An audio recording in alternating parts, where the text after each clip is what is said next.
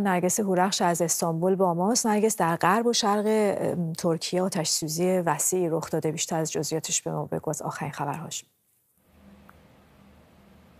همینطور است با گرم شدن هوا در ترکیه از بیشتر از یک هفته گذشته است که آتش سوزی های پراکنده در مناطق مختلف ترکیه آغاز شدند و همچنان ادامه دارند.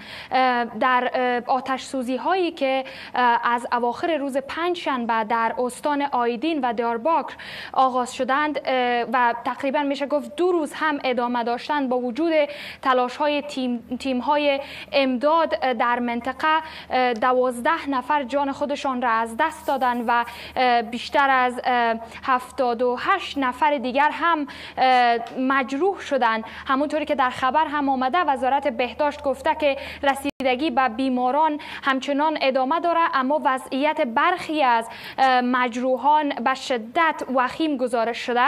در کنار این هم وزارت دادگستری ترکیه و وزیر دادگستری یلماس از آغاز تحقیقات درباره چگونگی وقوع این آتش سوزی ها خبر داده و گفته که دلایل آن را مشخص خواهند کرد. این در حالی است که در مناطقی که باعث جان باختن افراد شده آتش تحت کنترل است. اما به دلیل وزش باد شدید این آتش سوزی ها به ویژه در استان آیدین به مناطق صنعتی گسترش یافتن و شب گذشته یکی از کارخانه هایی که در آن چوب و همینطور کاه وجود داشته هم آتش سوزی در آن صورت گرفته و این آتش سوزی ها و عدم خاموش کردن آنها آنها به موقع با خشم مردم مواجه شده و درگیری های هم در آیدین رخ داده بود به همین دلیل و همچنین ما گزارش هایی را داریم که در ازمیر و دیگر استان ها کماکان این آتش سوزی ها ادامه دارند. اما مقام های دولت ترکیه اعلام کردند که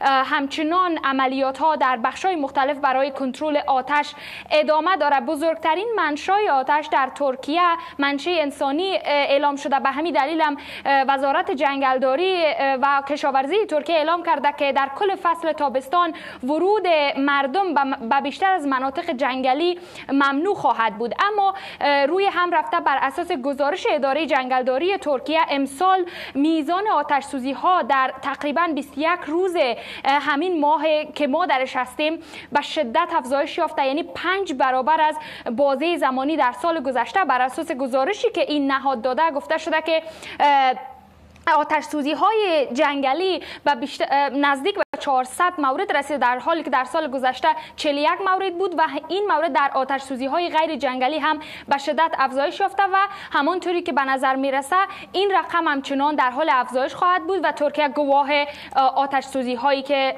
اتفاق بیفتند. متشکرم از توضیحاتتان نرگس هورخش استانبول ترکیه.